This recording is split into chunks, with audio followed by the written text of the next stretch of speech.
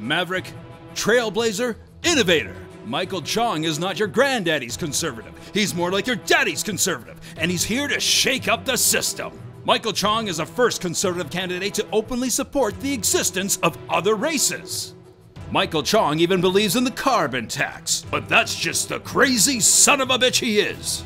Pro immigration too? You're goddamn right. You can't tame this stallion. Michael Chong also, well, he's actually still pretty right wing on some economic issues. But if you have a problem with that, you can get out of here! Because Michael Chong doesn't give a fuck what you think. Paid for by Michael Chong and the concept of hot, dangerous sex.